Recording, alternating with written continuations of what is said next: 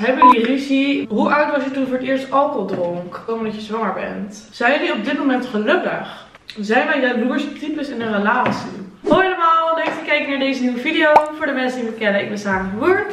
En ik ben vandaag weer met Bootje.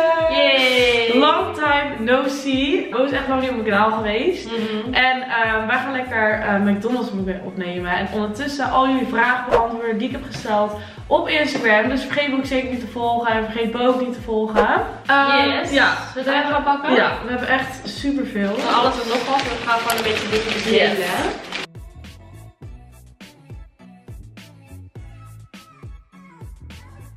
Oké, nou we hebben een macroket. We hebben een, ehm, die we gaan delen, single big tasty delen, frietjes. Een, nieuwe burger, dus de crispy chicken. Homestyle crispy chicken met Honing mustard. honing mosterd inderdaad. Kip nuggets en allemaal lekkere sausjes. En we hebben een milkshake. Ik heb een... mm, dat een karton rietje, dat die is lekker. Dat verpest hem, hè? Dat verpest Ik heb het. een nieuw, ja. En het eten is al een beetje koud, want we hebben het dus gehaald. Dus we gaan snel de vragen erbij pakken Ja. en eten. Ja. Die zijn sowieso al koud. ja die zijn helemaal ijskoud. Nou, mm, wel lekker. Ja? Echt die McDonald's friet. Mhm. Mm. Oh, thumbnail. Ja, ik vraag eerst wel gewoon de eerste vraag die het meest is gesteld. Dan zijn we daarvan af. En dat is. Nou, niet een specifieke, vraag, maar waar was Bo in de vlogs? Hebben jullie ruzie? Waarom, waar, ja, wat is er gebeurd? Wat is er tussen jullie? Helemaal dat. Ja. Nou. Ten eerste kunnen we niet echt een ruzie noemen. Nee. Als je echt een ruzie met iemand hebt, dan, dan heb je al een beetje een haat aan iemand. En dat was dat voor mij totaal niet. En voor Nee. ook niet, denk ik. Er is eigenlijk nooit ruzie geweest. Nee. Maar we spraken elkaar gewoon minder. Ja, we hadden allemaal sowieso allemaal ons eigen ding met drukker. Dus we zagen elkaar sowieso minder. Mhm. En In het begin zagen we elkaar soms ook wel, maar dat was nog niet altijd op de vlog. Dus dan lijkt het sowieso van, huh, waar is Bo opeens? ja. Bo moest werken. Mhm. Ik en Isabel hebben een hele andere baan als Bo. Moest in de horeca. Het moment dat wij vrij waren moest Bo werken. En het moment dat Bo vrij was moest hij weer werken. Ja. Dus dan leef je gewoon een beetje langs elkaar heen. En op een gegeven moment spraken we elkaar gewoon eigenlijk niet. En er was geen ruzie, maar ja, er was gewoon, er was gewoon geen contact. echt. Nee, het was gewoon minder geworden. Ehm, ook omdat we gewoon allemaal druk waren. En Mhm. wij dachten weer, oké, nou ja, we hadden een beetje voor miscommunicatie. Van alles wel in Van, groep. ja, zij hebt mij niet en ik heb Ja, haar niet. klopt. Dus we dachten allebei tot eigenlijk Terwijl niks in de hand hadden. Nee, we hadden Nee. elkaar eigenlijk moeten uitspreken van waarom heb je me niet. En dan Ja. was eigenlijk niks aan de hand. Dus we hebben ook gewoon een keer met z'n drieën gepraat en het Ja. was gewoon weer goed.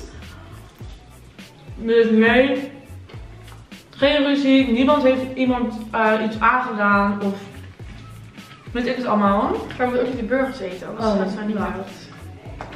Oh, verkoud. Mm, Oh. lekker. Mm. Oh, die kipnuggets. Mm, ja, er zijn zoveel vragen die ik meer kan kiezen. Dat ben je even zeggen. Ja, ga jij maar kiezen.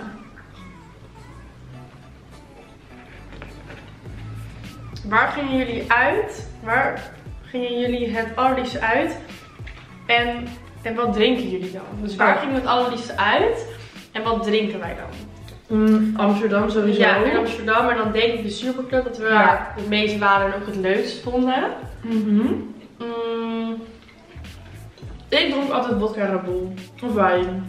nou, Vaak wijn eigenlijk. meestal op het begin we naar wijn. Maar Ja. op een gegeven moment jullie wijn ook zat. Want is niet heel lekkere wijn meestal in de club. Daarna doe ik meestal vodka Fanta doe ik meestal. En jij meestal Ja. eh, vodka Red Bull en zo. Terwijl ik wil eigenlijk geen vodka Red Bull drinken, maar ik hou gewoon niet van frisdrank. Nee. Ik hou niet van cola, ik hou niet van Fanta, ik hou niet van Sprite. Ik ook Dus- wel hoor. Dan vodka Red Bull en dat is gewoon echt heel lekker, maar wel echt heel slecht. Ja, Mm. heel snel. Of ehm vodka Spa rood, maar dat hebben ze niet overal. Ja. Oh ja, dat vind jij lekker. Ja. Of ehm vodka ginger ale, maar dat hebben ze helemaal niet in de, in de club. Nee.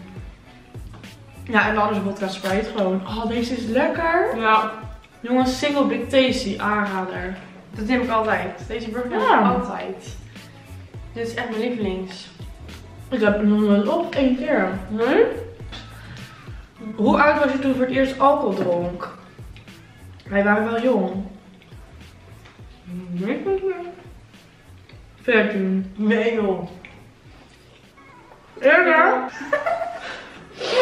Ben je wel 12 of zo, denk ik? Nee. Ja, moet wel. 13 dan. Jij dan? Jij was een jaar jonger. Ja. Als je 12 bent, dan zit je in de eerste. De middelbare. Ja, dan, dan zou het 12 wel kunnen hoor. ja, toch? Nee, de eerste heb je 13e dan. 13 of 14. Wel vroeg. Ja. Mm.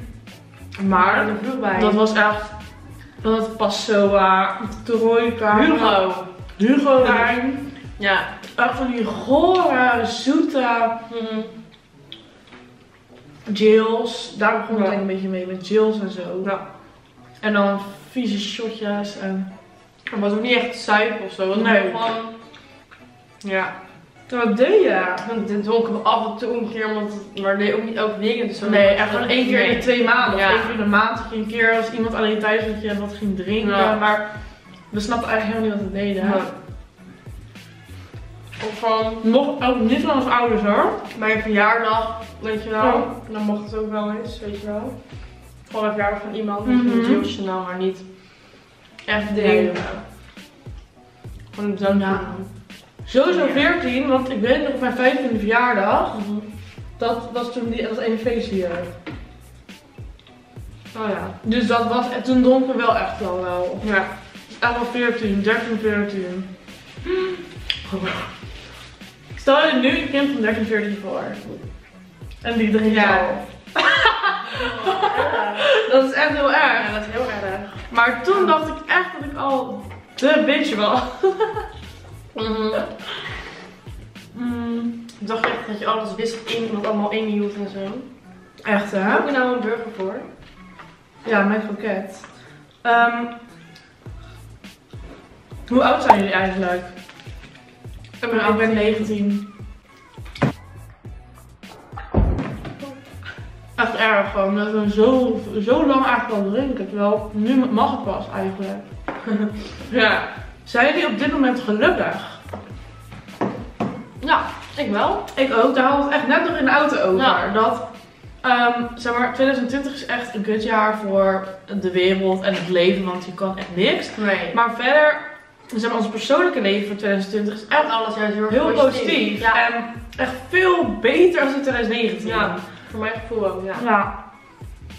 In 2019, als ik daar aan terugdenk, was ik ook wel gelukkig, maar wel veel minder gelukkig als ik nu ben. Ja, als je dan nu terugkijkt Nu weet je gewoon eh, beter wie je bent en wat je wil. Ja. En, ja. volwassener geworden. Mm, Ja. Anders anders in. Zien en zo. Mhm. Ja, denk ik ook wel, ja. Zijn wij jaloerse types in een relatie? Mm, nee. Maar Gezonde jaloezie. ja, inderdaad. Kijk, je kan echt zeg maar hebben dat je alles checkt en zo. Mhm. Maar natuurlijk heb je wel, ben je wel eens jaloers zo als Ja. er iets gebeurt of als iets dit of zo. Maar niet overdreven zo. Dus je zou er ook niet één door kunnen. Nee. Nee. Gewoon, natuurlijk ben je eens jaloers, want als je van iemand houdt, dan is het logisch dat je jaloers bent. Ja. Maar het hoeft niet eens per se in een relatie te zijn, het kan ook al met een vriendschap zijn. Ja. Stel bijvoorbeeld, ik ga uit en ehm, een meisje gaat helemaal tegen Bo doen alsof ze Bo de beste vriendin is. Zou ik ook denken van, bitch, wie ben je? Ja. Mijn vriendin, weet je wel.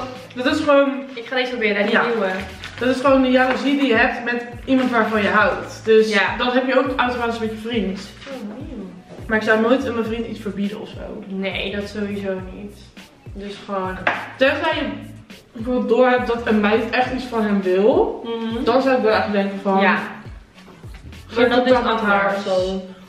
Of, ehm de. Eeuw, wat is dit? Moet ik dat eten? Ja, dat eet ik ook. Hè? Wat zit er in? Ik dacht dat het kaas was. Ja. Dat kan er staan, dacht ik. Lijkt wel kool of Ja, zo. spitskool of zo, gezuur, gez- verzuurd. Gez- Een zuurtje ding. Deze is nieuw. Ja. Heel benieuwd naar. Mm. Lekker? Mm. En Oké. heel, heel crispy. Ja. Zou je iets aan jezelf willen veranderen, zowel innerlijk als uiterlijk? Oeh.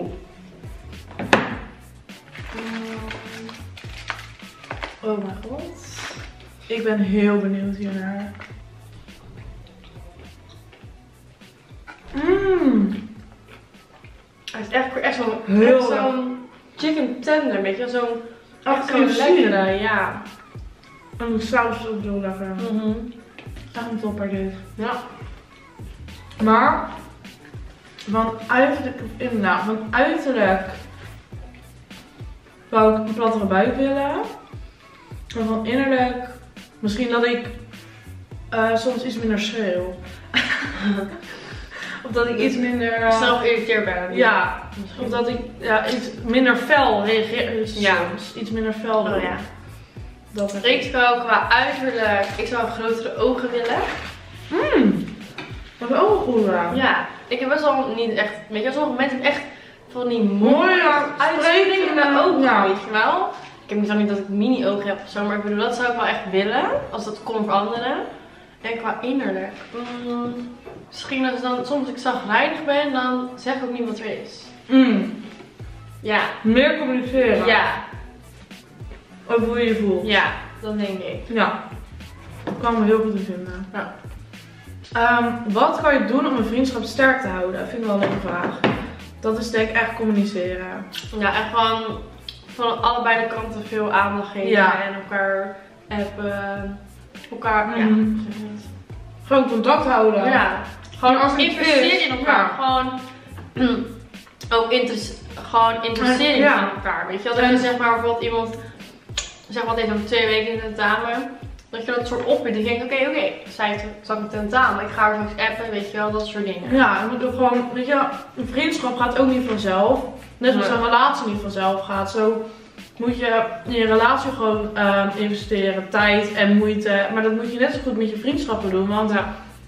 ja, kijk, in het begin kan het natuurlijk allemaal vanzelf gaan. Dus met een relatie ook. Maar op een gegeven moment, zoals je de vraag is, dat je echt sterkere vriendschap wil houden, moet je daar gewoon in investeren. Ja.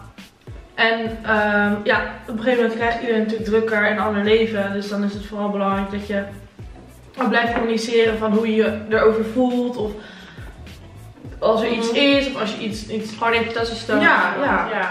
Dus dat denk ik echt. Ja, maar dat is, dat is ook wel weer iedereen voor iedereen veranderd. Ja. Maar dat is wel waar vriendschap wel een beetje aan moet voldoen, toch? Wat is jullie droombaan? Oeh, ik denk een eigen onderneming hebben. Ja. Maar in wat? Dat, dat wil iedereen. Iedereen Ja. wil een eigen onderneming hebben. Dat weet ik nu. Ik studeer nu interieuradviseur. Dat lijkt me heel leuk om daar een eigen bedrijf Ja. te hebben. Dat ik mensen zeg maar... Huh? Dat ik mensen zeg maar de huizen van iedereen denk van stijlen zeg maar. Mm. Dat lijkt me heel Echt voor jou. Ehm, dat is denk ik wel mijn droombaan. Leuk dat je dan ook echt een opleiding doet eigenlijk. Mhm. Nou, ik dat zeg ik natuurlijk nu. hè. Weet ik nooit hoe ik dat er straks over denk. Nee. Maar dat lijkt mij... Dat is mijn droombaan. Dat is nu. Nou, ik denk, ehm, ja, sowieso een eigen onderneming. En ik denk sowieso, ja, misschien met kleding. Of Mhm. in je social media. Dus, Ja. Influencer. Ja. influencer marketing lijkt me ook heel leuk. Lijkt me leuk. Lievelings city om in te shoppen. Zo. Zo, ik denk niet eens Amsterdam. Nee. Het ligt eraan, bijvoorbeeld als het gewoon rustig is. Nee, nou, heb je daar natuurlijk wel alles, maar het is echt Waarom veel te toeristisch. Nou, Hoofddorp. Mhm. Dichtbij, maar heb je ook niet altijd leuke dingen. Nee, Dus wat is Maar- echt leuk? Want Hoofddorp heb je wel weer zeg maar de rust en kan je goed kijken. Ja. Maar je hebt weer niet altijd alle leuke dingen. En ik vind Hoofddorp zelf ook geen leuke stad. Nee. Heel saai. Maar als je moet kiezen waardoor je het liefst de kleding shoppen, dan heb je toch wel Hoofddorp. Ja, ik ook. Verder ben ik ook niet in heel veel andere steden geweest, moet ik zeggen. Den Haag een keer, maar... ik ben ook heel leuk shoppen. Ik Ja. Dat ook één keer. Ik dacht echt dat we heel veel hadden, hè? Ja, dat dacht ik ook. Want we hebben... drie burgers. Dus dan heb je er één per persoon. Dus je meestal vol van één Ja. burger. En dan eentje delen. Dan heb je patat, één kip. Maar het is echt in je hoofd omdat je allemaal van alles een stukje eet of zo. Ja, maar dat is hetzelfde dus. Met all you can eat. Ja. Oh, dat je ook allemaal losse hapjes. Klopt. Of bijvoorbeeld ehm een frikandel. Als je één frikandel Ja. eet, dan zit je vol. Dan mis je Ja, twee, dan je Dan vol. denk je echt van... Maar al neem je 20 van die mini stukjes, zit Ja. je niet vol. Nee, Dan moet je door, dan is het Ja. een soort lekker eten. Kleine stukjes. ik hou ook echt van dingen delen. Datzelfde, als je eigenlijk in thuis één hoofdrecht neemt, bijvoorbeeld neemt Ja. dat je vlees zit je vol met dat groentes. Maar eerst gewoon het sushi besteld, hapjes gemaakt en zo. Ik veel meer, maar Ja. gewoon kleine nieuwtjes elke keer. Het is gewoon al op. Het is niet per se dat ik nog honger heb, maar dan zou er wel iets liggen, dan zou ik het wel eten. Ja. Oh, wat erg. ja, heel erg. Wat zou je doen als je er nu achter zou komen dat je zwanger bent? Ehm, ik zou hem even gaan halen. Ik zou wel Ik denk ook. Nou, ik zou niet moeten, maar ik bedoel... Ik bedoel, je bent 19. Ik heb nog zoveel plannen dat ik denk, ik dit wil ik nog doen in mijn leven. En natuurlijk kan het met een kind, maar eigenlijk staat je eerste paar jaar gewoon op pauze. En dat is niet erg als je gewoon klaar voor bent. Ik bedoel, ik wil ook echt alles, als ik, als ik met kinderen ga beginnen, wil ik gewoon alles op een rijtje hebben. Mhm.